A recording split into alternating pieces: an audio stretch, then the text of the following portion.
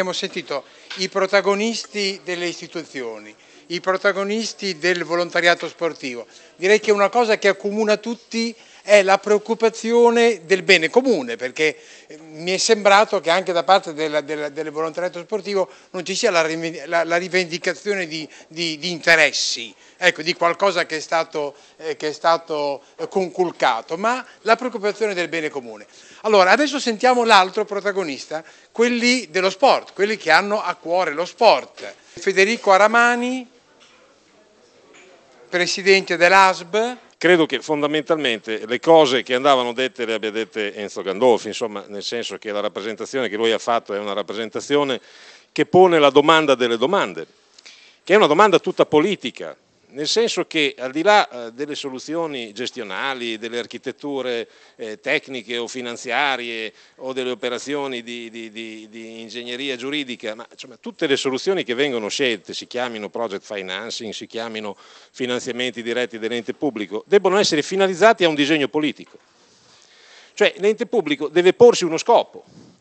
Allora noi chiediamo qual è lo scopo che questa amministrazione in questo momento si pone? Cioè i valori, i contenuti etici, quel valore aggiunto che diceva prima l'assessore della provincia, condivido molto il suo ragionamento, che hanno informato e ispirato tutta l'attività che Enzo Gandolfi ha rappresentato in questi dieci minuti, sono ancora attuali, sono di interesse per questa amministrazione. Poi dopo discutiamo di tutto il resto, project financing, le fondazioni, tutto bene, ma il disegno, il contenuto, il modello associativo Qual è? Cioè noi perseguiamo un modello che è quello delle palestre ben attrezzate, con le macchine per la muscolazione, tricipiti, dorsali, quadricipiti, eccetera, tutti davanti agli schermi a cristalli liquidi. Poi ce ne usciamo, andiamo magari a fare la spesa al centro commerciale, in questo mondo rutilante, scintillante, dove ciascuno di noi si perde, dove le relazioni non esistono. È questo il modello che noi perseguiamo? Perché il modello che Enzo Gandolfi ci ha raccontato è un altro è quello delle persone che si mettevano assieme per il bene comune. Prima ancora del fatto sportivo c'era dietro appunto un disegno etico, politico, una tensione morale, che sono le cose che mi sembra, ci sembra manchino in questo momento in questa città, se è vero ciò che leggiamo tutte le mattine sui giornali questa sorta di bollettino di guerra di quello che è accaduto nella notte, non mi riferisco solo agli stupri che sono un problema rispetto al quale le società sportive poco possono, ma mi riferisco a tutti i comportamenti di inciviltà che vengono messi in campo da persone che tra l'altro in buona parte dovrebbero anche forse essere l'elite intellettuale di questo paese, se è vero che avvengono all'università. Ebbene, noi il mondo sportivo, l'associazionismo, il volontariato, ma non solo quello sportivo, intendo il volontariato in generale, perché questo ragionamento non può essere fatto a fette come un salame, bisogna, voglio dire, affrontarlo nella sua globalità. Si è posto questo problema fin dalla sua nascita, cioè il problema di mettere le persone in relazione tra loro, di offrirgli degli spazi, dei momenti di organizzazione, di impegno. Queste cose sono ancora, interessano? Ecco, questa è la domanda politica che abbiamo posto. Noi aspettiamo una risposta su questo. Se interessano, allora poi si può discutere, si deve discutere, le amministrazioni discuteranno, i cittadini valuteranno se le discussioni sono state fatte in termini giusti o meno, ma ripeto, la domanda è questa, questo modello che è un modello che ha messo le persone in relazione, che ha prodotto i risultati che sono stati rappresentati, che oggi certamente va aggiornato, perché Enzo, voglio dire, ciò che era bene 40 anni fa, forse oggi bisogna certamente in qualche modo rinfrescarlo, stessa, lo stesso dato anagrafico insomma, della, della, della, del gruppo dirigente del, del, mondo sportivo a Bologna ci segnala che c'è anche la necessità di un rinnovamento. Questi sono fatti veri rispetto ai quali non si può nascondere la testa sotto la sabbia, ma rimane il dato politico rispetto al quale noi non abbiamo ancora sentito una risposta chiara e la riproponiamo questa sera. Questa amministrazione, io non parlo né di sindaci né di assessori, non ci sono problemi di persone, Qui ci sono problemi di linea politica, di disegno politico. Questa amministrazione intende confermare questo patto con questa parte della città oppure no? Ecco, se intende farlo, allora sappia che troverà sempre, voglio dire, in questo mondo quel tradizionale alleato che ha trovato in questi 40 anni. Io non so se questa sera c'erano problemi, ho sentito dire, dibattito civile, io penso che questo mondo abbia sempre solo espresso contenuti di civiltà e di partecipazione. E quindi non ci si può aspettare niente di meno da questo mondo. Però questo è un mondo che va anche rispettato. E quindi io credo che la domanda che è stata posta in termini chiari meriti una risposta in termini altrettanto chiari. Grazie. Grazie a Ramani. Fabio Casadio, Presidente dell'UISP. Stasera è uscita una domanda che forse ci facciamo tutti da diverso tempo. Qual è la nostra funzione? Dico nostra, l'UISP, ma intendo le società sportive, intendo gli altri enti di promozione sportiva, intendo il CONI, intendo tutti i protagonisti di questo variegato mondo. E me lo, mi faccio questa domanda alla luce dei dati che sono usciti dall'indagine multiscopo dell'Istat proprio in questi giorni. Dati che a me preoccupano moltissimo perché 23 milioni di eh, cittadini italiani sono sedentari equivalente al 41%. Però il problema è ancora più allarmante, almeno dal nostro osservatorio, perché questa tendenza è in aumento, cioè nel senso che nel 95 erano 37 rotti per cento e nel 2000 erano 38 e qualche cosa. Quindi intanto noi come, fra virgolette, addetti ai lavori ci dobbiamo chiedere perché non riusciamo a contrastare questo passaggio, 23 milioni. Se analizziamo meglio i dati che ci fornisce sempre questa indagine, andiamo a vedere anche un'altra cosa, che chi fa attività in modo continuativo sono 16 milioni rispetto a 23. Uno potrebbe anche immaginare, tutto sommato non è male come dato, poi lo andiamo ad analizzare in realtà di questi 16 milioni, solo 7 milioni è quello che, con cui entriamo in rapporto noi, inteso noi enti di promozione sportiva, società sportiva, CONI. Questi sono coloro che si rapportano con noi. Altri 9 milioni sono quelli che voi vedete correre nei parchi, sono quelli che voi vedete fare attività al di fuori di noi. Se poi andiamo a analizzare meglio questi 7 milioni ci accorgiamo che 3,5 sono, fra virgolette, di rapporto delle federazioni e 3,5 rimangono proprio i nostri.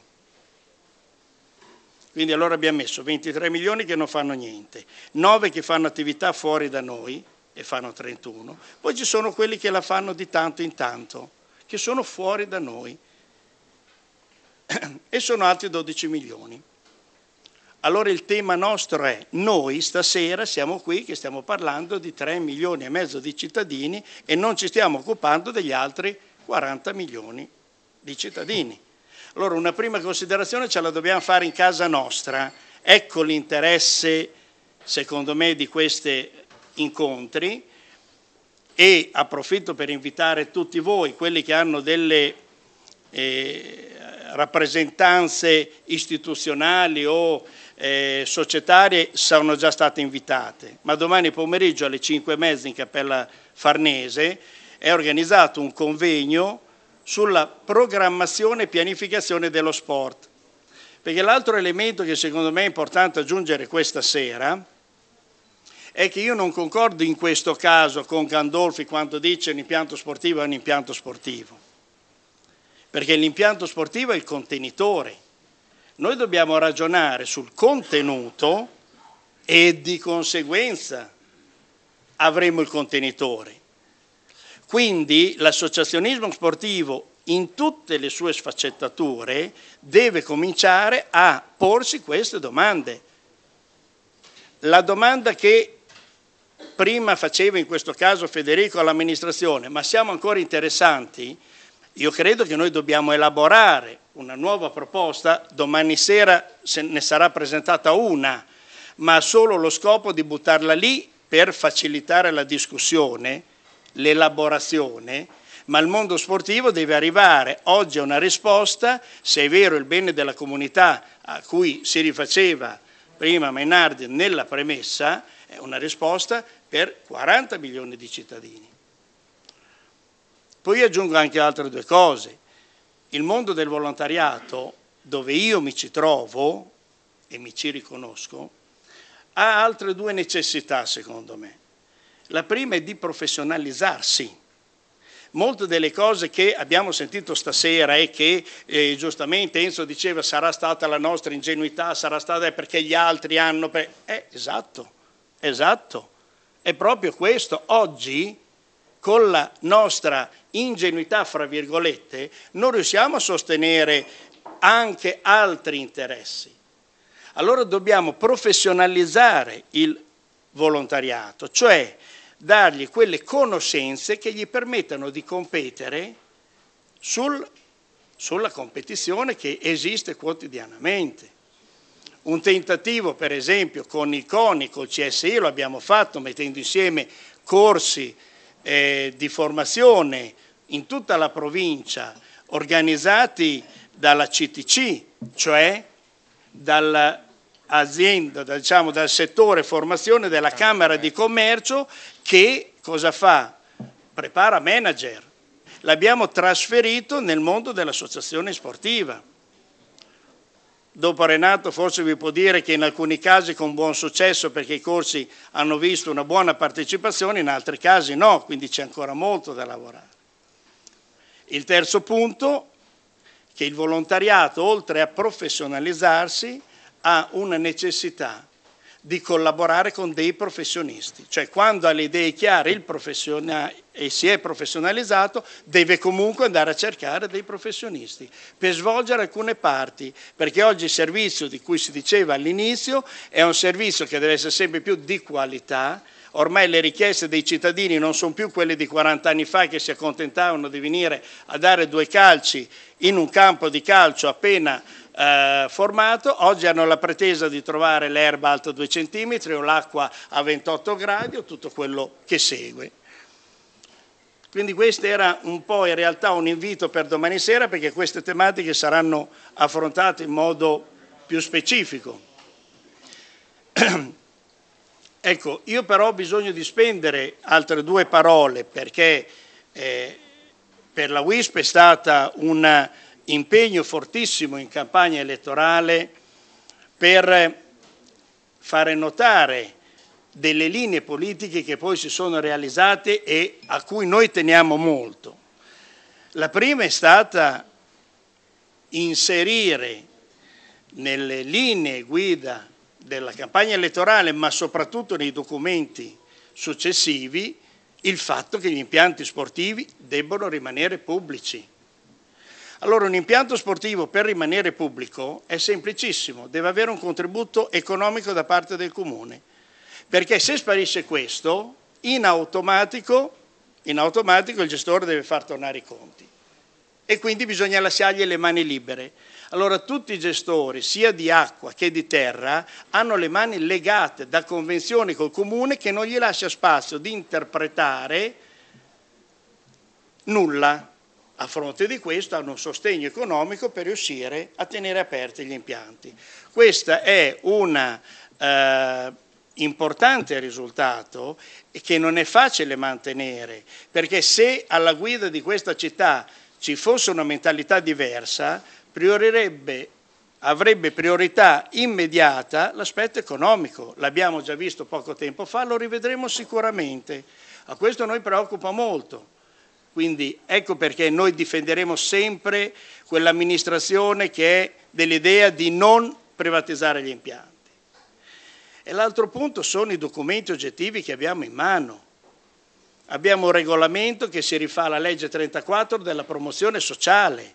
Noi tutti quanti siamo soggetti di promozione sociale perché oltre alle cose che accennava prima l'assessore Strada, inclusione, pari opportunità e tutto quanto, abbiamo anche altri elementi, presidio del territorio, perché quando in un parco ci sono tutti gli sportivi che ci vanno, non ci vanno altri tipi di frequentazioni.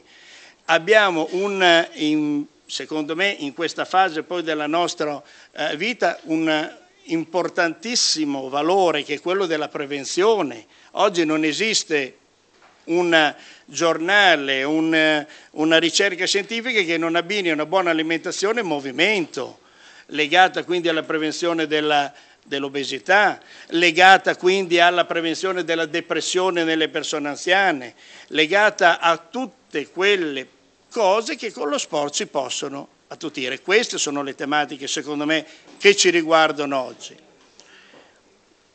Piani strutturali, e ho concluso, piani strutturali, questo è il momento. Domani, come vi dicevo, il convegno va in questa direzione. Nei piani strutturali si fa Bologna o i comuni della provincia di Bologna per i prossimi 15 anni. Ecco, in questi 15 anni noi dobbiamo andare a dire qual è l'idea di sport, non secondo me quali sono gli impianti, quelli arrivano di derivanti. E bisogna che dietro a questo ci sia un lavoro di conoscitivo sull'impiantistica sportiva che permetta poi a tutti gli attori di fare dei ragionamenti e ovviamente all'amministrazione pubblica di decidere. Grazie. Grazie. Casadio, eh, Renato Rizzoli, Presidente del CONI. Buonasera a tutti. No, io volevo, mh, Giorgio, ritor ritornare un po' sul tema perché ascoltando i discorsi, perché non edete i lavori, sembra che il volontariato sportivo sia stato quello, e ha fatto un lavoro straordinario e ancora oggi lo fa, che gestisce gli impianti. Secondo me siamo andati un po' fuori dal tema che c'è scritto qui in quello puscolino Cambat Brisa, dice il volontariato sportivo a Bologna. Il volontariato sportivo non è solo quello. Prima l'assessore Strada ricordava che qui ci sono mille passe società, adesso ognuno dice le sue. Ma secondo me un altro aspetto importante, non vorrei dire più importante, almeno oggi, poi dopo ritorno su, su, sulla gestione, chiedo un attimo di attenzione solo. Attenzione che io ho dei dati che riguardano le, le, le federazioni che conosco al centesimo e poi li trasferisco sugli enti. Nella provincia, questo è un dato provinciale, è chiaro che non è al centesimo, quindi prendetelo per buono, proprio quelle società sono mandate avanti da 10.000 dirigenti, tutti, sottolineo tutti volontari, e cominciamo a intenderci sui volontari. Volontari vuol dire uno che non prende una lira, o quando va bene prende 200 euro forse per la benzina. Intendiamoci, perché sui volontari se ne sentono di cotte e di crude. Siamo a 10.000, va bene? Ci vogliamo mettere tutti gli arbitri, i giudici di gare che in queste città mandano avanti, poi dopo arriva a dire. Arriviamo a due, sono 2.500. Siamo a 12.500. Sono tra tesserati 5.000 tecnici e qui qualcuno prende dei soldi tra i tecnici, nel senso che prende qualche compenso. Non sono grandi cifre, però qualcuno lo prende. Quindi diciamo che la metà di questi sono volontari, siamo a 15.000. Se aggiungiamo il mondo degli enti di promozione sportiva di cui non ho i dati, io credo che da questi 15.000 perlomeno a 20.000 arriviamo. Quindi in questa provincia, in questa provincia ci sono 20.000 persone assolutamente volontari, ivi compresi quelli che prendono, ripeto, 200 euro il mese o 300, che mandano avanti lo sport bolognese, mandano avanti quei 100.000 che pare nella nostra provincia facciano sport, senza i quali i nostri figli, io non ne ho, ma insomma i ragazzi, i giovani e i meno giovani fanno sport. Attenzione, quindi qui non stiamo solo parlando, e dopo lo toccherò, ripeto, della costruzione degli impianti che chiaramente oggi deve seguire schemi diversi. Il mondo del volontariato sportivo, che però si vende malissimo, e dopo dirò anche perché, è costituito da 20.000 persone che consentono nella nostra provincia ogni sabato e domenica, da settembre, ottobre a maggio, di allestire 800 avvenimenti sportivi. Partite di calcio, di pallavolo, di pallacanestro, gare di schermo, eccetera. Vanno a prendere i ragazzi a casa, li portano, li riportano a casa, lavano le maglie, tirano la riga sul campo, parlano con i genitori, confessano il bimbo, fanno da educatori. Quello che oggi forse nessuno si sente toccato, la famiglia non fa più, non è in grado di fare. Questo è il ruolo fondamentale del volontariato sportivo. Non volevo strappare l'applauso. Questo è il ruolo fondamentale del, del volontariato sportivo. Sono, ripeto, loro che consentono ogni domenica, forse anche il Bologna qualche volontario, ma evidentemente è un'altra parrocchia quella, che consentono di organizzare tutti gli eventi sportivi, gli allenamenti durante la settimana, di pulire gli spogliatoi, eh, di magari qualche volta tirare fuori anche qualche lira, i dirigenti per metterla perché se no non va avanti. Questo è il grande movimento che oggi, mille, no, 2007, è caratteristico dello sport bolognese, ma di tutta Italia. Allora quando sento dire, non voglio fare una frecciatina polemica, mi scappa qualcuno molto in alto, che dice che il volontariato, non so quale tipo di volontariato si riferisce, che cosa deve, è superato, io credo che il volontariato non sia superato, non so cosa intendesse dire quell'affermazione, credo che sia una formazione che non risponda alla realtà. Il volontariato sportivo è tutt'altro che superato, mica non vedo alternative a questa forma di volontariato, non possiamo permetterci certo di pagare, quanto ho detto, 20.000 persone, poco molto che le pagassimo ci vorrebbero milioni di euro. Quindi quali sono i problemi che ha il volontariato sportivo? Uno l'ho sollevato e mi hai, mi hai battuto in volata. Certamente la formazione, ma per la verità lo dico da molto tempo. Cioè, il volontariato deve essere volontariato, non deve essere professionista, ma deve essere professionale. Chiaramente i tempi sono cambiati, i ragazzi a 12-13 anni non accettano più che il pensionato allenatore di calcio lo tratti in un certo modo, non l'accetti il ragazzo e non l'accetti il genitore. Quindi è chiaro che noi dobbiamo fare un percorso di formazione un messaggio che io più volte ho lanciato, devo dire, mm, magari non, adesso ho avviato questo corso con l'UIS Peloxi che andrà avanti due anni, un piano di formazione biennale, in certi comuni ha risposto, in altri un po' meno. Però un problema che dovremmo affrontare, voi con la vostra prestigio e autorità, coinvolgendo l'università, eh, la sanità, fare un piano di formazione molto forte dei nostri dirigenti sportivi che non sono più adeguati, io lo dico sempre, lo dico anche quelle volte che mi capita di essere a Roma, il talone d'Achillo dello sport italiano è dei dirigenti di Abete, scusatemi è scappato, e di Matarese, che andrebbero sostituiti, adesso domani sarò buttato via dal, dal mio scranno, ma sicuramente, ma sicuramente i nostri dirigenti volontari che ce la mettono tutta, ma non basta più perché oggi bisogna conoscere elementi di pedagogia, di psicologia, eh, di comunicazione, che chiaramente una persona, il, se no il titolo, ho sentito dire, non so se questa era la sede, il titolo, il, non può essere il titolo di merito, meglio tank, vado a fare allenatore di basket piuttosto che di calcio, piuttosto che di scherma. Forse andava bene 40 anni fa, oggi non va più bene, come non vanno più bene gli impianti, gli impianti di allora. Ecco, quindi l'altra, eh, l'altra sottolineatura quindi, che volevo lanciare, mi piacerebbe che in questa città, dove devo dire più volte ho tentato di dire costituiamo un tavolo per fare delle cose insieme, non ci sono ancora riuscito, adesso l'Anna si è distratta e viene portata via, dicevo, anche lei l'ho detto l'altro giorno di fare un tavolo, ha detto che mi risponderà dopo le ferie, eh, ne ho parlato più volte con l'amico Strada, lo dico pubblicamente stasera, mi piacerebbe in quest'anno ci fosse un tavolo in cui il CONI, gli enti di promozione, non tutti, non serve, i due assessori e quant'altro, trovassimo dei motivi di collaborazione. Forse avremmo anche risolto quei problemi, e ripeto, mi dispiace che l'assessore sia andato via, che certamente sono creati, perché la cosa che dico, sicuramente in quei bandi lo dico piano, è uscito, qualcosa non ha funzionato.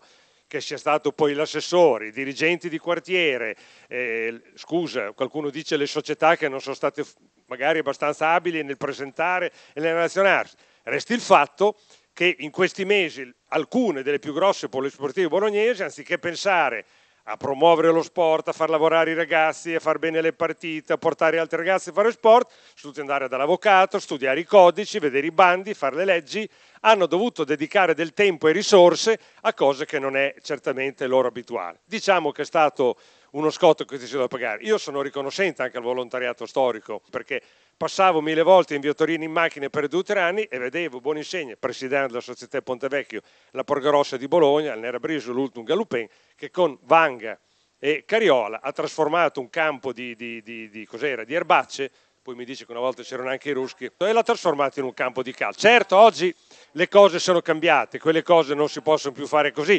finisco. Quindi sicur- sicuramente il volontariato, quel volontariato è cambiato. Io ho tenuto solo a dire che c'è un altro volontariato che è il cuore dello sport italiano, il cuore dello sport bolognese, che dobbiamo tutti sostenere perché a quel volontariato sono affidate le risorse dello sport e dei nostri giovani che il bene è pur prezioso. Scusate se l'ho fatta lunga.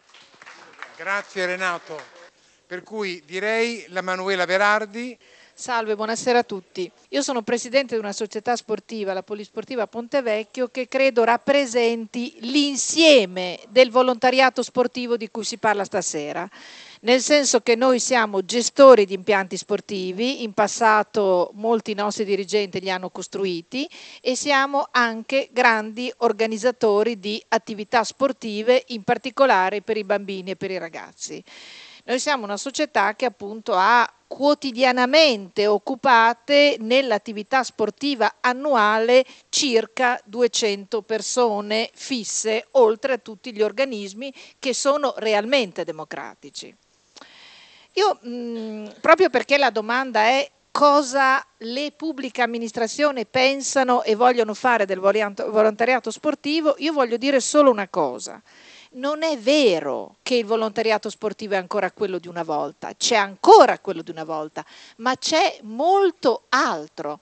Oggi tra i nostri tecnici, tra i nostri dirigenti abbiamo fior fiori di professionalità e di professionisti che gratuitamente o al massimo per i 200 euro di cui parlava prima qualcuno dedicano ore e ore di lavoro. Quindi quando mm, mi sembra a casa Dio ci dice ma noi dobbiamo fare una riflessione su noi stessi, sicuramente abbiamo dei limiti che, e delle necessità di aggiornamento, ma smettiamo di rappresentare rappresentare noi stessi come una realtà del passato. Non è più così. Io sono anche presuntuosa. Sfido fior fiori di società, professioniste o di enti di promozione che sono tutti che vivono sulla base di dirigenti e dipendenti, tutti stipendiati, a mettersi a confronto con noi sul piano delle capacità organizzative di lavoro di organizzazione. Perché dico questo? Perché oggi, secondo me, la sfida è di aggiungere la professionalità non venendo meno ai valori che sono stati propri della nostra tradizione. E anche questo perché faccio questa considerazione? Perché anche qui è vero, che oggi la pratica motoria è varia e diffusa. I parchi sono pieni per fortuna, io credo che sia un vanto di questa città offrire degli spazi. La gente che va in bicicletta sulle strade, nelle rotonde di cui parla Gandolfi o nelle piste ciclabili è davvero tanta. Ma tutti questi non li rappresenta nessuno, né le vecchie società né le federazioni del CONI e giustamente sono giustamente persone che in forma libera praticano l'attività motoria. Noi dobbiamo parlare degli altri, di coloro che hanno scelto in una parte, in un momento della loro vita, del loro tempo, di praticare l'attività all'interno di strutture, di momenti organizzati. Allora, io credo questo, che secondo me uno dei valori che deve caratterizzare il volontariato e distinguerlo, poi verrò gli altri due punti, è proprio questo, l'avere al centro del concetto dello sport per tutti e quindi dell'attività motoria per tutti, per tutte le robe che qui venivano dette, la sedentarietà e quant'altro, sia quello di privilegiare i giovani e gli adolescenti, perché questo è il buco grande che oggi noi abbiamo in questa società. Perché leggo stamattina che finalmente anche l'amministrazione comincia a porsi il problema degli effetti della difficoltà del governo di una realtà in cui si sono consolidati certi stili di vita.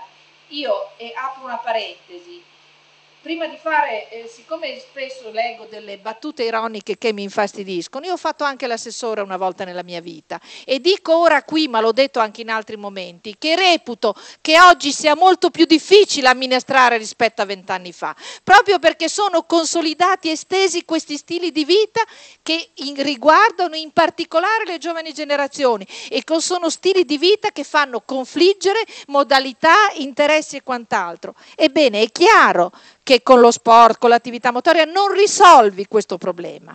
Però io credo che sia una cosa diversa offrire a un ragazzo, a un bambino, a un adolescente, a un diciottenne l'opportunità di andare a praticare attività motoria in una palestra in cui paghi, ricevi una prestazione e torni a casa e farlo in un ambiente invece in cui c'è un rapporto costante con il tuo allenatore educatore, c'è una relazione tra i genitori, ci sono momenti organizzativi associati associativi in cui questi ragazzi non vengono presi due volte alla settimana per due ore, ma vengono seguiti anche al di fuori, gli vengono offerte opportunità durante l'estate, ci sono i camp estivi, c'è una continuità, un aiuto a quel ruolo drammatico che oggi devono assolvere le famiglie. Questa è una differenza, non è uguale, non siamo uguali noi che facciamo certe cose rispetto a una società a una professionistica che si chiami Virgin, che si chiami Fitness First o che si chiami WISP, dove tu vai, paghi, ricevi una prestazione e torni a casa. Questa è la grande differenza. E io pretendo che in una sede politica, poi mi si potrà dire che sbaglio, sono disposta a confrontarmi, di questo si parli, di quelli che sono i contenuti del volontariato sportivo inteso, come diceva Rizzoli, a 180 gradi. Veniamo agli altri due elementi, poi la faccio finita, del, della discussione di questa sera. I bandi, mica i bandi, i criteri, mica i criteri.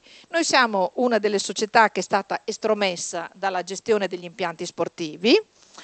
Io devo dire questo e lo confermo, non c'è miglior gestore che non sia l'utilizzatore degli impianti, perché è cosa diversa chi gestisce sulla base di regole, regolamenti, criteri, principi, fate tutto quello che volete, ma si troverà sempre il modo di scappare. Vi faccio un esempio, Gandolfi deve avervi fatto vedere. Noi abbiamo un campo di calcio che gestivamo noi che adesso è passato un altro. È chiuso, ripeto, chiuso dal 27 di giugno, l'ha abbandonato a se. Maggio, scuso, ho sbagliato la data. Se l'amministrazione li vuole fare i controlli e li fa, cioè non è che non lo sta facendo, ma siccome il regolamento dice sette annaffiature, come fai a dimostrare quando si devono fare le sette annaffiature? Al di là della buona volontà. Anch'io se dico a mia figlia di annaffiare il giardino, sta lì dieci minuti e dice mamma ho già innaffiato, ma non ha annaffiato il giardino, ha fatto la finta. Questa è la realtà, cioè voglio dire che oggi eh, i criteri, i regolamenti non sono sufficienti. Quello che si è perso oggi, poi non so ancora bene la strada per risolverlo, è il rapporto fiduciario, il criterio del buon padre di famiglia che ispirava le gestioni dell'impianto pubblico negli anni passati, perché questa è la grande differenza. Si dice ci erano dei criteri tecnico-qualitativi nei bandi. Ha ragione l'assessore, è proprio vero. La differenza però qual è? Che i criteri tecnico-qualitativi dicevano la struttura organizzativa, cosa farà in futuro, Bene, io dico, la Pontevecchio ha perso nei criteri tecnico-qualitativi rispetto a società che non hanno nulla, perché l'importante è raccontarla, questo è quello che io trovo inaccettabile. Si fa un bando il punto di partenza deve essere una esatta valutazione precisa dello stato di fatto in cui versa quell'impianto, perché questo ti consente di valutare come è stato gestito nel passato, per cui uno che viene dalla Luna mi può raccontare che mi riempie d'oro il campo di calcio, ma uno che ha gestito malissimo quell'impianto per tutti questi anni non me la può raccontare.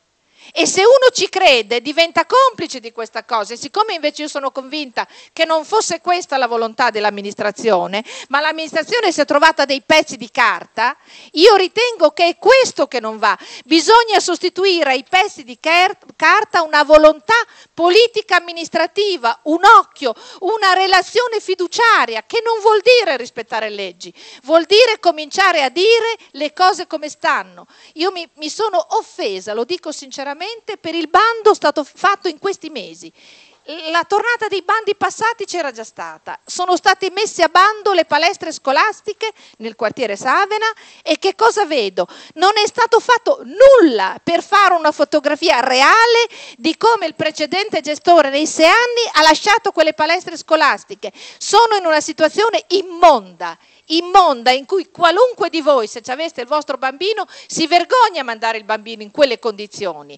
Di tutto questo nei bandi non c'è niente. Ancora una volta bisognava raccontarla. In questo caso abbiamo tra virgolette vinto, dovendo spendere già 19 mila euro di avvocato perché adesso siamo al Consiglio di Stato per un'assegnazione di un anno, Detto tutto questo, quindi l'esperienza non insegna mai. La prima volta lo capisco, le regole, i pezzi di carta, ci siamo trovati un po' tutti sprovveduti, ma la seconda volta, la seconda volta io devo vedere che vengono fatti bandi al quartiere senza nessuna valutazione di come quel gestore aveva gestito quegli impianti e quindi è stato ancora una volta sufficiente quello che uno racconta. Chiudo l'argomento dicendo gli impianti. Ne discuteremo domani in questa riunione convocata dall'UISPA, a cui è stato, ho visto, delegato il fatto di aprire il confronto con il mondo sportivo nell'ambito del PSC. Avrei preferito che lo avesse fatto direttamente l'amministrazione comunale, visto che ha fatto... Sì, convocato dall'UISPA. Convi... Ecco, allora avrei preferito che lo avesse fatto quando lo farà saremo ben lieti di partecipare, io mi limito a dire questo. È verissimo che la situazione della finanza locale è quella che è, è verissimo. Credo che anche in una situazione di ristrettezze ci sia un problema di risorse. Io voglio solamente fare due esempi in regione. Le ristrettezze esistono dappertutto, Esistono in tutti i comuni della provincia che si sono dotati di un'impiantistica sportiva moderna, aggiornata e qualificata. Esistono negli altri comuni della regione. Guarda caso, nel comune di Parma, dove Vittorio Adorni è diventato assessore due anni fa, ha avuto la lungimiranza di cogliere questa disciplina che è la ginnastica ritmica, disciplina femminile, che peraltro ha la peculiarità di consentire di tenere in palestra anche le atlete meno dotate nell'età dell'adolescenza e ha costruito un impianto dedicato che ha portato all'esplosione della, eh, di questa disciplina. L'assessore, la canoista, che adesso non mi ricordo, quella che ha vinto di Ravenna, ha avuto altrettanta idea e anche in quel caso due, un anno fa si è inaugurato un impianto dedicato allora io dico, ma com'è mai possibile che là dove abbiamo degli assessori che provengono da questo mondo, che sono consapevoli, diciamo, e non è un problema di oggi, cioè io vorrei essere molto chiara, quando io dico queste cose non è che questi fatti si risolvono in tre anni, sono fatti che hanno origini antiche, errori antichi, quindi non penso che questo sia un problema due, degli ultimi due anni e mezzo, dico però che guarda caso nel momento in cui c'è un'attenzione, qualcuno qualcuno che sposti l'attenzione alle reali problematiche del mondo dello sport, le cose cambiano. Gli esempi Ravenna e eh, Parma, guidati da due esponenti del mondo dello sport, hanno prodotto un'immediata inversione di tendenza. Io quindi chiedo che in sede politica si rifletta anche su queste cose, proprio perché c'è il PSC, ci sarà il piano della provincia, c'è un'opportunità. Assessore, lei ha detto che le dispiace di non poter fare niente rispetto alla gestione degli impianti sportivi. Io mi permetto di dire una piccola cosa. Secondo me la provincia qualcosa può fare.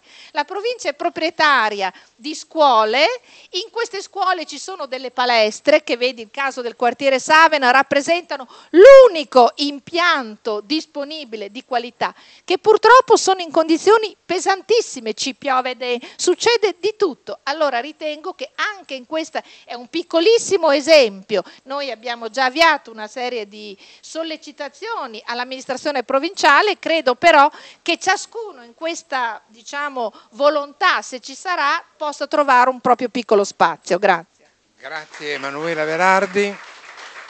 Eh, Stefano Gamberini del Centro Sportivo. Parlo molto volentieri e intanto ringrazio per l'invito. L'avevo già detto anche in passato, l'avevo detto con gli amici eh, Rizzoli, Casadio, cioè in particolar modo quando sono successi i tristissimi fatti del, del campo Mario che è incendiato, il, eh, eh, il gazebo, eccetera, eccetera.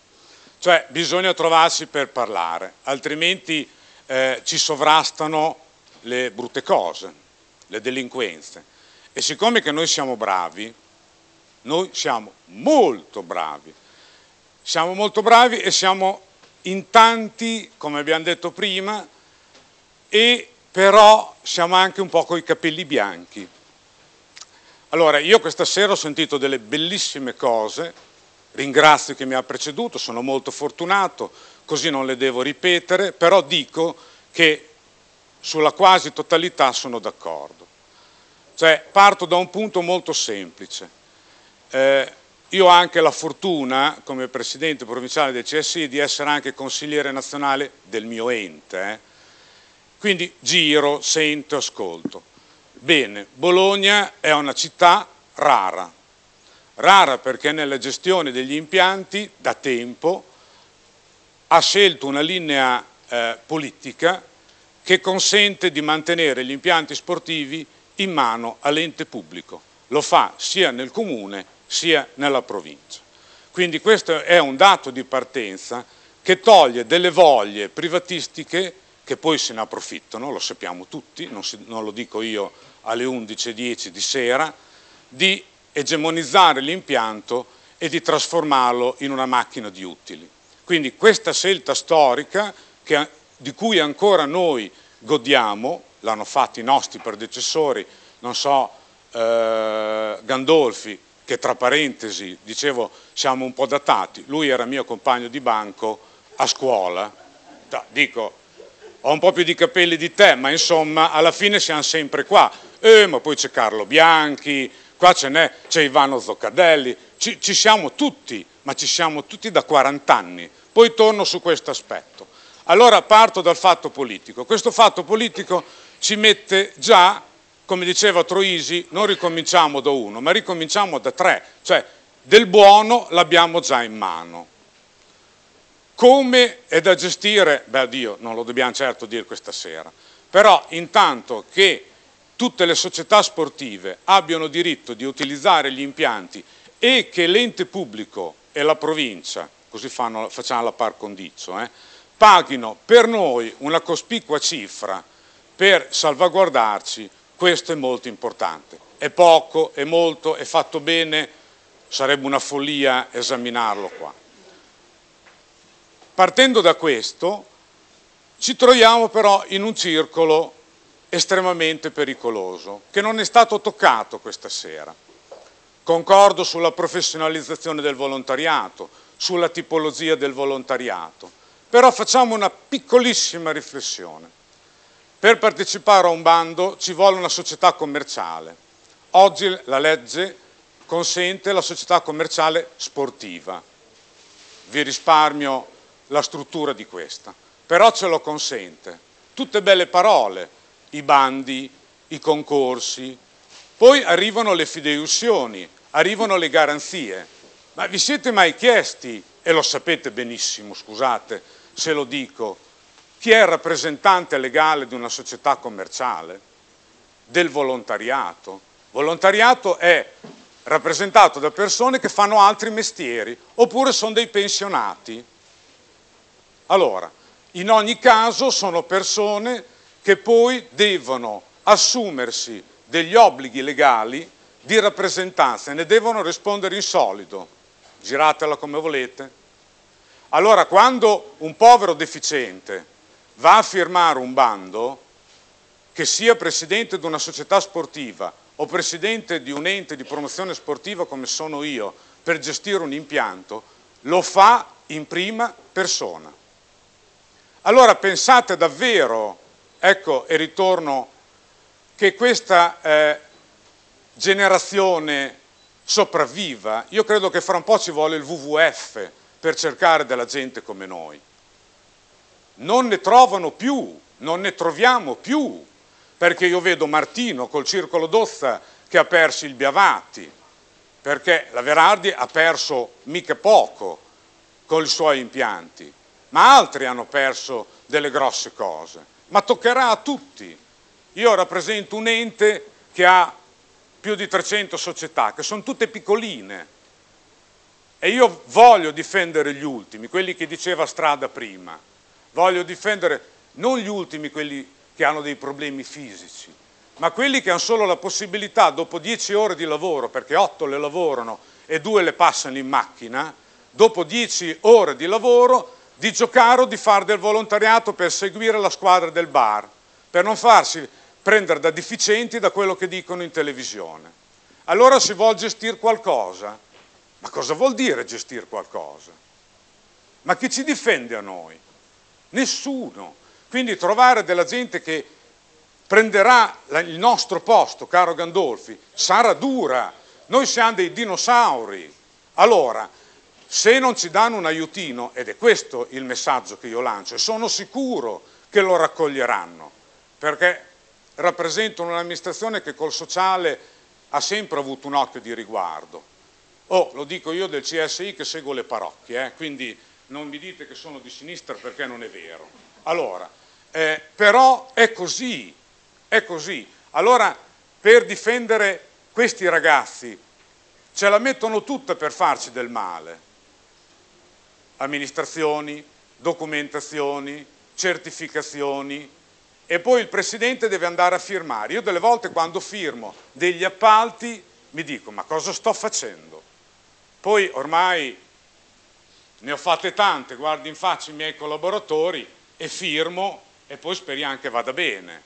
Ma se mi va male, se un'assicurazione non viene osservata, se casca un muro, se qualche cosa non faccio bene, chi mi difende? Io mi ricordo una volta che Petrucci, ai cent'anni della Fortitudo, disse con molta enfasi stiamo studiando un progetto per eh, fare in modo di garantire delle fideiussioni che coprono i dirigenti che si prendono delle responsabilità. Quaiozzi, stanno pensando ad abete, stanno pensando, mi viene meglio in dialetto perché sono bolognese di nascita e mi capite benissimo. Allora io dico, poi finisco eh, perché mi hai dato un orario infame che non dovevo neanche parlare, però poi quando ci sono non smetto. Allora io dico, cari assessori, se, c'è stato un inciampo, io credo che sia stato un inciampo dovuto anche all'incapacità di qualche presidente di quartiere o qualche tecnico e qualche mancanza di controllo anche da parte vostra, se vogliamo. La linea politica però è quella giusta, va controllata bene, va messa a punto ascoltando noi altri, noi, noi, queste persone qua, tutti da Borgo Panigale, li conosco tutti questi, quasi tutti, non voglio fare il presuntuoso. Però ascoltando questa base si può affrontare il nuovo tipo di volontariato, perché come la Verardi, che è una professionista, lo diceva, il fatto di abbiamo bisogno sempre di ascoltare degli esperti, di professionalizzarci. Verissimo, però dovete anche aiutarci a salvare il volontariato, perché se non ci salvate noi, dietro di noi il ricambio è molto difficoltoso. E i valori, perdonatemi che li chiamo così, che così mi salvo, voi tutti portate, mi ci, tiro via io, vanno pian piano a sparire perché ormai l'egoismo la fa da padrone. È questo che dobbiamo salvare e voi che siete l'istituzione politica e pubblica ci dovete dare una mano. Per me questo è il messaggio. Buonanotte, grazie.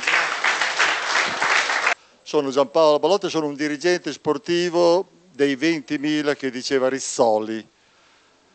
Eh, ho una storia dietro come tutti voi, ho quasi 50 anni di dirigenza e gli ultimi 25-30 li ho spesi, 20 a richiedere al Parlamento di fare una legge sul dilettantismo per tutelarci, perché quella del professionismo l'hanno fatta in pochissimi giorni nel 1981 e noi ci hanno ignorato per sempre. Poi ho speso 12 anni, sempre volontario gratuito, al centro sportivo Barca, perché mi piaceva essere là perché ero dirigente di un team ciclistico, l'unico di Bologna che fa settore giovanile. Quindi eh, ho lavorato quasi una vita per ottenere dal Parlamento un riconoscimento, una tutela e anche un sostegno, improvvisamente, senza che io lo chiedessi, con la legge finanziaria 2003, quindi fatta in dicembre del 2002, lo Stato ha deciso che io esisto e ha riconosciuto l'associazionismo sportivo dilettantistico dicendo anche che sono bravo, bravissimo, anzi complimenti che ci sei. Mi ha dato delle regole statutarie, mi ha detto che devo fare senza fini di lucro e guarda caso, e questa è la cosa che mi ha sorpreso, ha detto ha scritto che se il comune non riesce più a gestire l'impianto, a Bologna da 15 anni che non riesce più, in via preferenziale è l'associazionismo sportivo e statistico che vince la gara. Ma Socia, dice quello di Bologna, ha riconosciuto che esisto e che sono bravo. Ecco, questa via preferenziale questo meccanismo che il comune doveva introdurre nei bandi, il comune se l'è scordato. Non ce l'ha messo, forse perché eh, non lo sapevano l'assessorato, forse i collaboratori che ha l'assessore non gliel'hanno detto. La morale è che il comune ha violato una legge dello Stato, non ha inserito alcun meccanismo preferenziale per me, associazione sportiva dilettantistica. Di lì è venuto tutto quindi per un dirigente sportivo, se il comune viola una legge, per me è già fuori gioco. Poi ci saranno i tribunali che ci ragionano sopra, ma io come dirigente il giudizio l'ho dato secco, andava messo nei bandi e nei bandi non è stato messo. È un errore, è una dimenticanza. Siccome ho fatto parte da 50 anni di consulte comunali che non si fanno più ed è un errore, conferenze cittadine dello sport che non si fanno più ed è un altro errore del comune e della provincia che non le fa, perché le cose interessanti che hai detto stasera le devi dire nelle assemblee pubbliche, altrimenti lo sai tu e qualcun altro, mentre io non lo vengo a sapere. C'è bisogno che voi consultate il movimento sportivo con i canali ufficiali, non che sia l'unirsi, che ringrazio, che ci convoca per queste cose. A me manca il luogo dove discutere di politica sportiva, Assessore. Assessore, mi mancano i luoghi. Abbiamo fatto una riunione due anni e mezzo fa perché l'Agisbo l'ha chiamata Alpertini. Da allora il Comune di Bologna non si è degnato di convocarci per sentirci e questo è un errore politico e io questo glielo rinfaccio perché io sono un dirigente che ha speso 50 anni volontariamente per lo sport e non voglio essere offeso in questo modo. Fra l'altro, e qui quando sento il sindaco che dice legalità e trasparenza, lei che lo scrive, il presidente del mio quartiere che lo dice, il bando della barca ha almeno sette illegalità di legge e di regolamenti comunali, perché io tre anni fa in sede di commissione sportiva, assessore mi scusi, dopo lei risponderà. Beh, giusto, hanno detto che in sede di commissione sportiva del quartiere io ho informato i politici dell'epoca, i dirigenti dell'epoca, guarda caso sono anche gli attuali direttori, che era cambiata la legge nazionale, che quel regolamento comunale che lei qui ha letto non era più buono perché riportava frasi vecchie. Quindi il comune, nonostante che io l'abbia informato nei canali ufficiali, l'ho fatto io, avranno i verbali se vorranno perché non ce li fanno leggere e non sappiamo cosa scrivono, io dissi che il regolamento comunale andava modificato adeguandolo alla legge esistente che è la legge finanziaria. Stati fatti bandi con il regolamento vecchio con parole che non c'entrano. È la legge finanziaria che dice chi gareggia e lo dice e devono gareggiare associazioni senza fine di lucro. Questo non è capitato e me ne rammarico. E io aspetto sempre che il quartiere Reno, che ha messo nel suo mandato elettorale la formazione della consulta comunale dello sport, che non ha ancora attivato dopo un anno e mezzo, che la convochi, perché io voglio andargliele dire pubblicamente queste cose. Io sono uno che su queste cose ci ha lavorato una vita e mi sento offeso da questi comportamenti. Io ci ho speso per il Comune di Bologna quasi 40 anni della mia vita e mi vengo punito in questo modo, ma non nei quattrini perché io lavoro gratis, ma mi sento offeso moralmente perché non è così che si fa. Con la gente che ha speso una vita per fare queste cose, la gente va ascoltata. Non è che si può scrivere nei bandi o nel documento elettorale ascolto, comunicazione, tutte queste belle parole e poi non praticarle. Io sono uno che voglio andare quando mi chiamano, ma non voglio andare dove lui mi chiama. Lui fa bene a chiamarmi, io ci andrò, ma deve essere il comune che mi chiama per discutere di queste cose, perché sono un cittadino di Bologna e mi aspetto sempre di essere convocato perché voglio essere ascoltato. Grazie Presidente. Eh, la Rosanna Facchini, che è stata assessore comunale. Ma io volevo riprendere il ragionamento di un luogo pubblico e politico, istituzionale, che c'era e che abbiamo troppo presto abbandonato. Scusate l'autocitazione, ma in questo bailamme degli impianti, e lo sport non è solo gli impianti, poi dirò qualcosa anche su quello, l'anno scorso fece un intervento sul domani suggerendo una cosa. Allora, l'ha già detto molto cattivo eh, Balotta, non voglio essere cattiva, anch'io, ma la conferenza metropolitana dello sport, che non si era mai fatta, forse è un'autocitazione, sia autoreferenziale, però nel 1994 abbiamo fatto una conferenza metropolitana dello sport. Era l'epoca in cui avevamo fatto l'accordo per la città metropolitana, perché eh, sai Marco, è vero, ti è stato detto anche dove poi ci sono competenze specifiche della provincia, ma lasciamo stare. Il problema è politico, politico, culturale e istituzionale, il luogo pubblico dove queste cose si dicono e si fanno. E io lo ripropongo. Occorre davvero riattivare i luoghi dove si discuteva di sport, la consulta, ma dalla consulta passammo, e questo non è vetero, voglio dire, perché abbiamo sentito anche dire che quel volontariato lì non c'è più.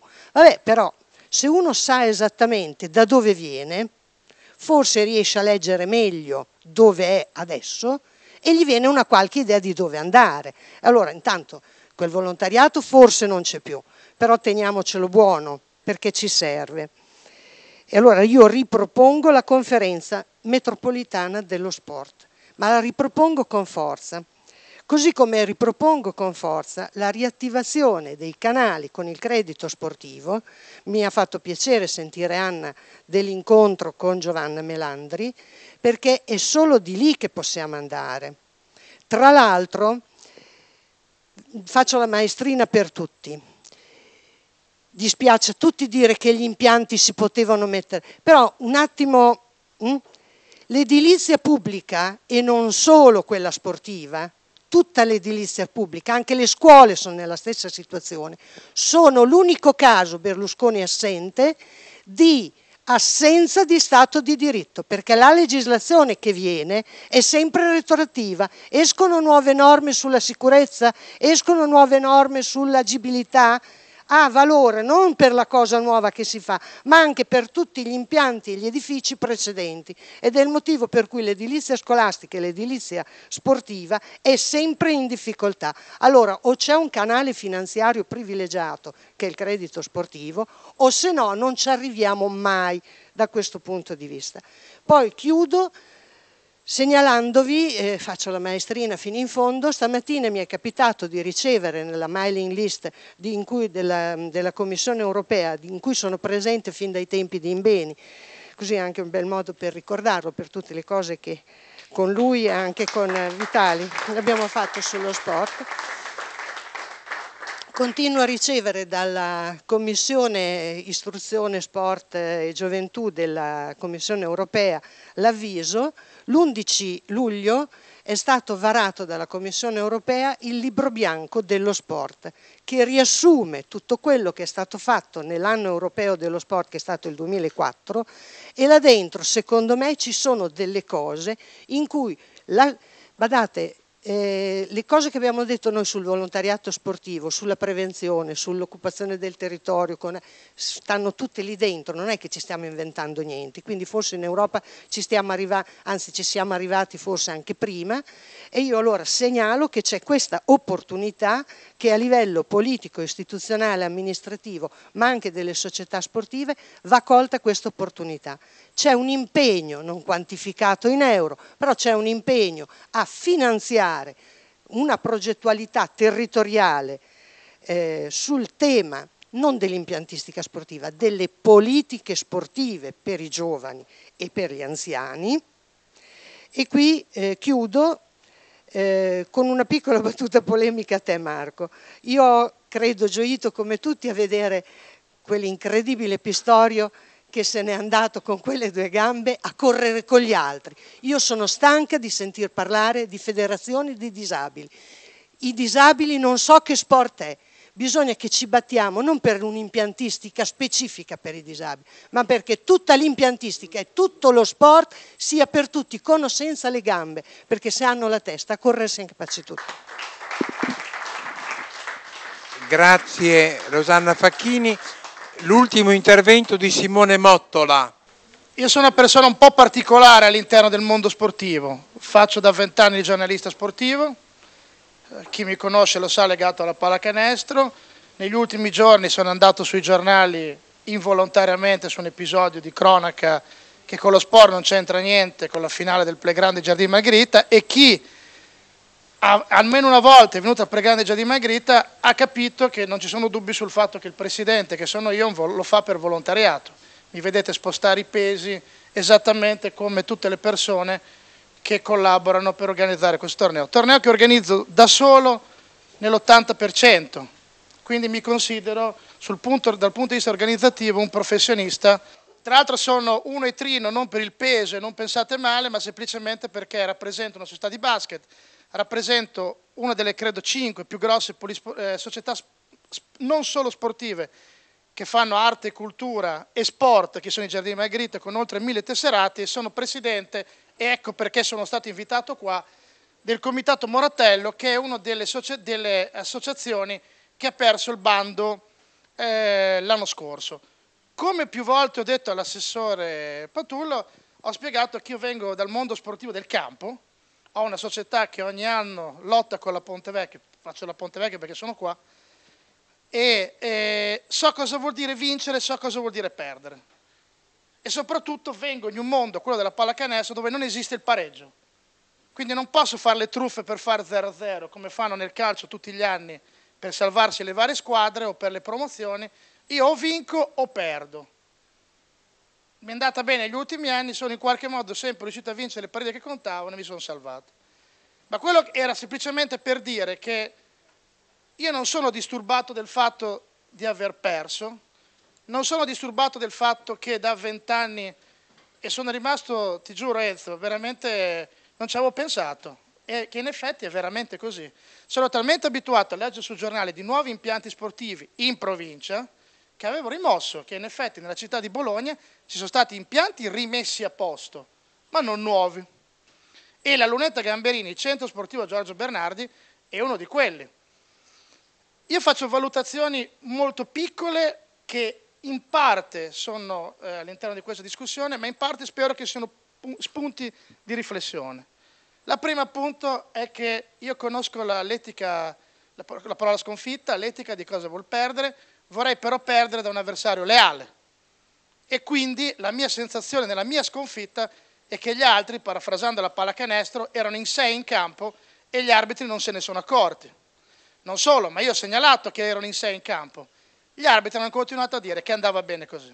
E questo è per segnalare che io posso perdere da dei professionisti, diceva prima a casa Dio, i professionisti, professionisti, fermi tutti, ma io vengo da un quartiere dove le polisportive sono sempre state considerate come i nemici.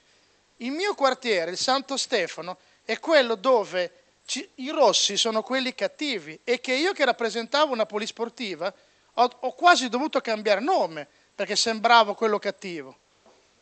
E infatti a noi è una situazione molto particolare, perché fino all'ultima amministrazione nel nostro quartiere era sempre bianco, nero, azzurro il colore. Il rosso non esisteva, era sempre in minoranza. E questa è stata una, è una situazione un po' particolare. Quindi io vengo da un mondo particolare, nonostante l'apparenza ho solo 41 anni, ve lo giuro, ho la carta d'identità, ed è 20 anni che faccio sport da volontario e tutte queste situazioni le ho fatte molto più in piccolo, nel senso che anche noi abbiamo fatto. E vi racconto solamente questo, noi siamo stati considerati dai cittadini di Bologna, non, non c'era né Istat né niente, ma telefonate, email, fax, il centro sportivo meglio gestito di Bologna. Noi avevamo l'erba sempre, sempre, e la nostra palestra era pulita, funzionale, sempre. Abbiamo un campo 2 che fa schifo, ma questo non è colpa né del comune né del gestore, di nessuno. È che è stato fatto male, i tecnici del comune sono sbagliati, non si sono accorti delle pendenze, e eh vabbè, pazienza, non c'è problema.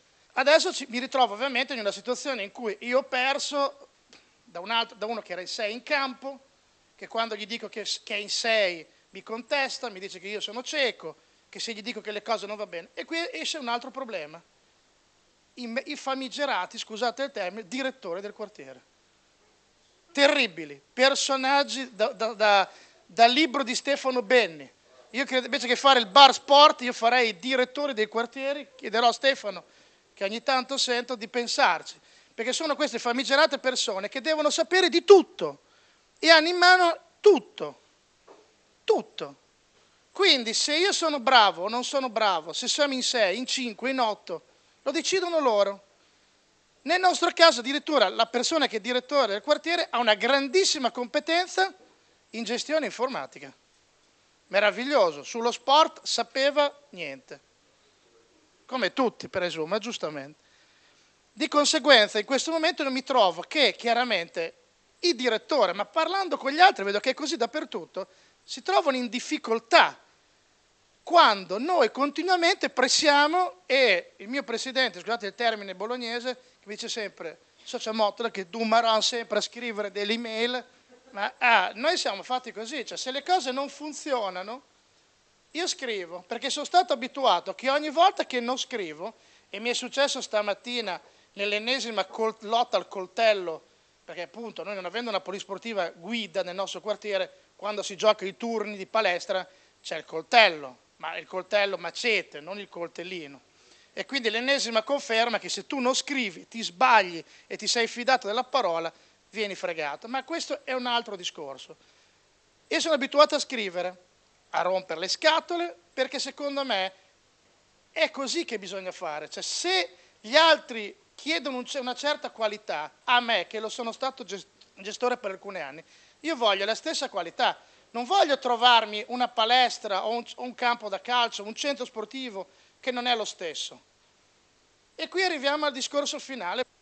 A me la cosa che mi dà fastidio, e l'ho sentito in un intervento, ero terrorizzato che non l'avesse ancora detto nessuno, ma la chiave è, se io gestisco un bene che utilizzo, è come quando sono a casa mia o nella casa in cui io sono in affitto.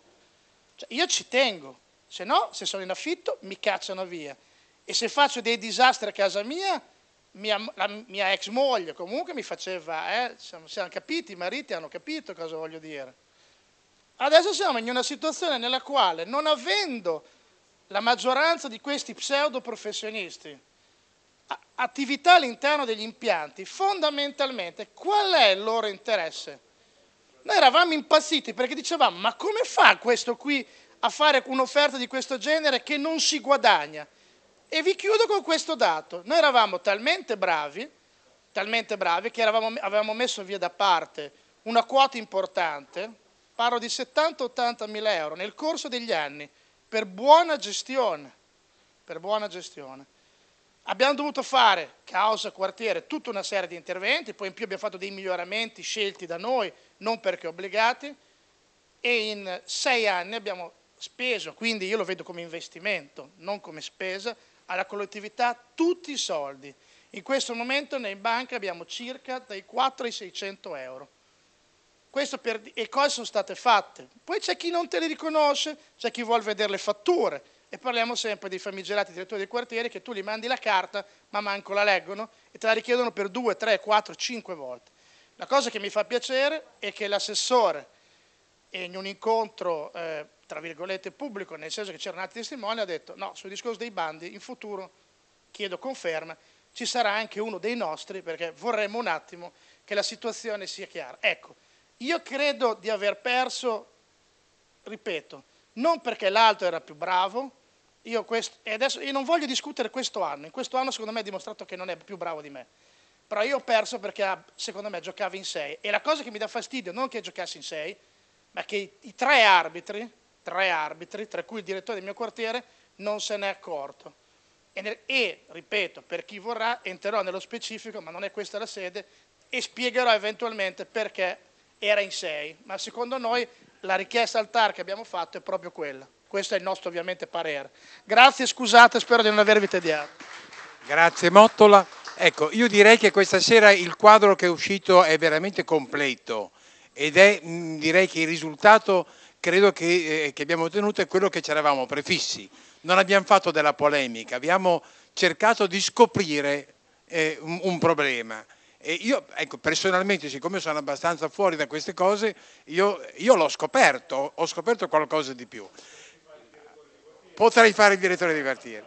Adesso allora io farei chiudere, eh, cominciando da Marco Strada e poi facciamo chiudere l'Anna Patullo. Io credo che sia giusto la, la richiesta che è stata avanzata sulla necessità di una conferenza metropolitana dello sport e che credo possa integrarsi bene con un tavolo provinciale dello sport. Sono due cose diverse, sono due cose diverse, ambedue necessarie perché credo che attorno alle politiche sportive è bene quando ci si confronta, ci si ragiona a più voce, quindi si cerchi anche di trovare un filo conduttore comune. Quindi per quanto mi riguarda eh, mm, dire, accetto e condivido questa richiesta e mi renderò promotore per la realizzazione sia del tavolo provinciale dello sport, quindi ragioneremo un po' sulla composizione, sia per quanto riguarda la realizzazione di una conferenza metropolitana per lo sport. Quindi coinvolgimento anche degli altri comuni in modo tale che si possa affrontare ma anche confrontarci come altri comuni del nostro territorio in qualche modo hanno dato delle risposte rispetto al tema dell'impiantistica perché è vero quello che sottolineavano alcuni quando dicevano che vi sono alcuni comuni del nostro territorio, Imola, ma altri ancora, insomma ne potrei citare altri che comunque negli ultimi anni hanno costruito nuovi impianti. Quindi, come dire, socializziamo un po' i percorsi, le azioni che sono state fatte perché questo può essere una risposta molto importante. La seconda considerazione, credito sportivo. Certo, credito sportivo, vi è la possibilità di accesso al credito sportivo, almeno da parte della provincia sì, noi abbiamo a disposizione 10 milioni di euro per abbattere il tasso di sconto che viene richiesto alle società dello 0,8%, non è neanche l'1%, noi l'abbiamo già messa a disposizione per la realizzazione, per la sistemazione dell'impianto di calcio di Buddiro ma anche di, altre, di altri comuni che hanno appunto chiesto alla provincia di vidimare il loro progetto e come tale la possibilità di abbattere il, il, il Tasso, il, tasso, il, tasso, di sconto. Sul tema dei disabili una semplice riflessione. Ehm, eh,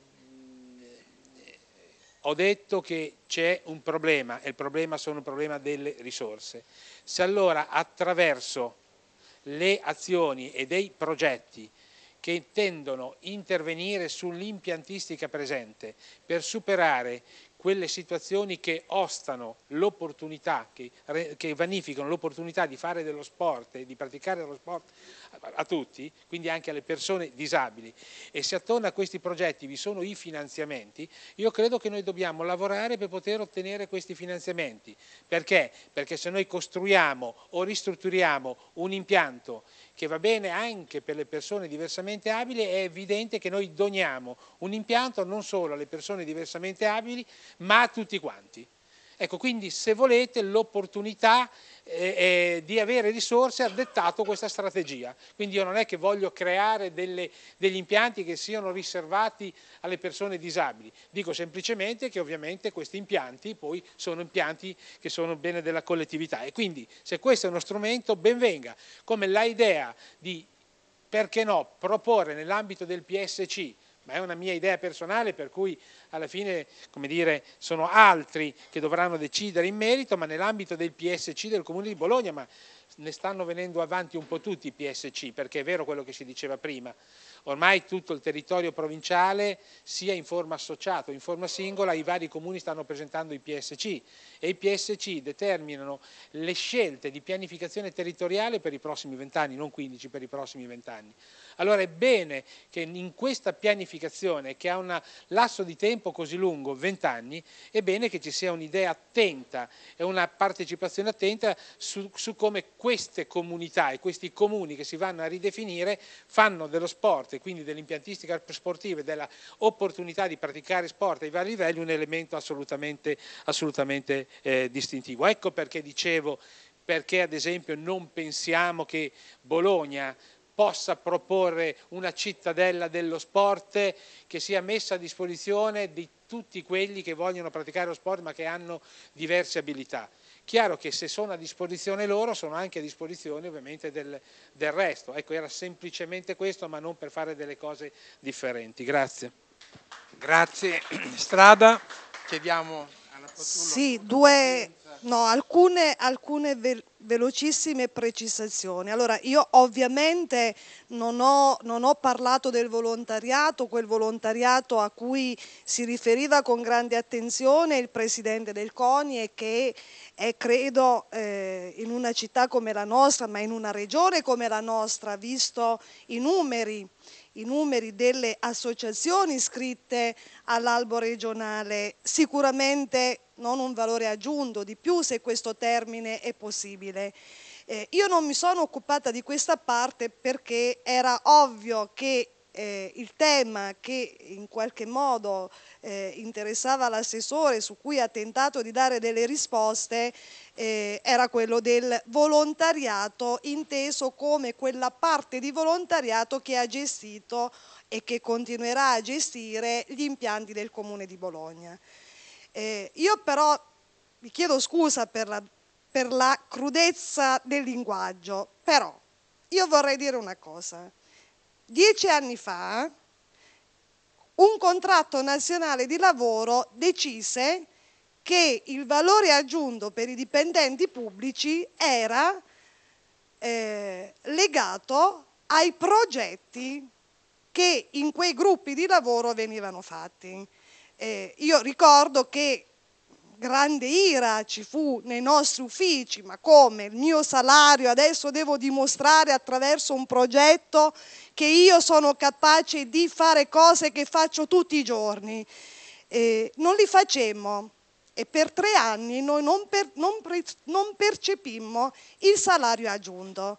Poi dopo ragionammo su questa cosa, l'iniziamo a fare, era facile, perché insieme le cose sono facili e il mondo dei gestori aveva una rappresentanza che si è incontrata con l'assessore, io credo che le risorse nel gruppo del volontariato dei gestori degli impianti di questa città ha la capacità di scrivere progetti e i progetti sono quelli che sono previsti da una parte dei bandi e che grazie ad una interpretazione purtroppo non ancora certa e questo non dipende dall'assessore probabilmente porterà a fare dei bandi che guardino solo alla qualità della gestione, io credo che questo mondo ce la può fare, ce la può fare insieme. Quindi questa è la risposta. Comunque non è possibile ipotizzare in una società come la nostra che per quanto vero che l'utilizzatore è colui che sa gestire un impianto, in questa città tanti sono gli utilizzatori, non uno, e quindi comunque vanno scritte delle regole. Eh, vorrei aggiungere un'altra cosa, intanto ringrazio la Facchini perché come al solito è riuscita a fare un intervento di, di grande importanza, avevo per altri canali visto questo eh, documento a cui ti riferisci, ma anche perché cerchiamo non solo quei documenti, ahimè, ma anche di capire se ci sono progetti europei a cui noi possiamo partecipare. Eh, adesso, siccome ognuno deve far vedere che è bravo, beh, lo faccio anch'io, noi siamo riusciti a fare progetti finanziati dalla comunità europea per la prima volta in questa città anche sulla protezione civile, due progetti importanti, io sono l'assessore di questa attività non era mai stato fatto in questa città, quindi l'attenzione sul volontariato c'è tutta, ma deve essere una cosa reciproca e bisogna anche dire le cose non come mezze verità. Io questa sera ho sentito che le palestre scolastiche sono state gestite in maniera vergognosa dal gestore precedente. Bene, può essere, però due cose. La prima è che intanto in questa città si possono utilizzare le palestre scolastiche della provincia di Bologna perché i soldi ce li mette il comune di Bologna, 370 mila euro all'anno. E queste cose vanno dette perché saranno anche una conquista del volontariato sportivo, ma questa amministrazione ha scelto di mantenere fede a quelle scelte che furono fatte. E io nel mio bilancio ho 370 mila euro che pago alla provincia. Non solo, si è detto che sono stati gestiti in maniera vergognosa. Bene ragazzi, ai miei uffici c'è un documento firmato dai presidenti e dai direttori scolastici del quartiere Savena che dice una roba... Sarà anche falso, però sono i dirigenti di scuole pubbliche e io, se permetti, non dico che sono falsi, farò le verifiche possibili e le verifiche saranno di tre tipi, perché noi stiamo aspettando un geometra al settore sport, verificheremo la tenuta degli impianti ed è grave che mi si viene a dire che non fu fatto nel passato questo lavoro. In linea teorica, chi ha lasciato degli impianti, al di là delle opere che ovviamente non potevano essere fatte a carico del volontariato, avrebbero dovuto lasciare degli impianti e non portarsi via le mattonelle tanto per essere chiari. Allora, i controlli saranno di tre tipi, perché tre sono i problemi che abbiamo sugli impianti. Il primo è sulla tenuta degli impianti e lo farà il settore, non il quartiere, con un, due tecnici che verranno assegnati all'assessorato. Poi ci sarà un altro controllo che vale per tutti, che vale per tutti, che è la verifica di ciò che è stato scritto per vincere il bando e di ciò che è stato fatto. Naturalmente non esiste un'unica visione che è solo quella punitiva sui controlli, ma è anche quello di capire che cosa è successo, perché non sono state fatte le cose. In alcuni impianti alcune cose non sono state fatte perché sono mancati la parte di introiti che dovevano arrivare su quell'impianto. Facciamo un esempio fuori dagli impianti di terra così evitiamo confusioni la, la piscina dello stadio doveva fare 10 lavori, ne farà 8 ma io non ho intenzione di agire solo in maniera punitiva. Io ho ascoltato e continuerò ad ascoltare che cosa è successo, perché non è colpa del gestore se qualcuno ha deciso che le partite di Serie B si giocano durante la settimana e io ho tre giorni ogni volta che c'è una partita la piscina chiusa. Cioè, quindi saranno anche false le cose, però io non ho la possibilità di smentire un direttore didattico, a meno che non lo vedo con i miei occhi, lo vedrò con i miei occhi. E ci sarà un altro tipo di controllo, che è quello che attiene all'utilizzo degli impianti sportivi, perché voi lo sapete bene che ci sono già in giro in questi giorni delle frizioni con qualcuno che dice ma io avevo gli spazi che me li dava il gestore. Allora, vogliamo dirle queste cose? No, perché se no stasera sembra che siamo tutti puri, che nessuno ha mai, come dire, messo in difficoltà le situazioni, ce le diciamo. Però i progetti, io sono certa che voi siete in grado di fare dei progetti. L'importante è non scrivere io ho gestito per tanti anni, perché non è, è un valore importante, è un peso importante, ma purtroppo non è tutto. Grazie. Grazie all'assessore Patullo, grazie a tutti noi, a tutti voi. E chi, deve, chi deve assumersi delle responsabilità ora se le deve assumere. Eh? Grazie, buonasera.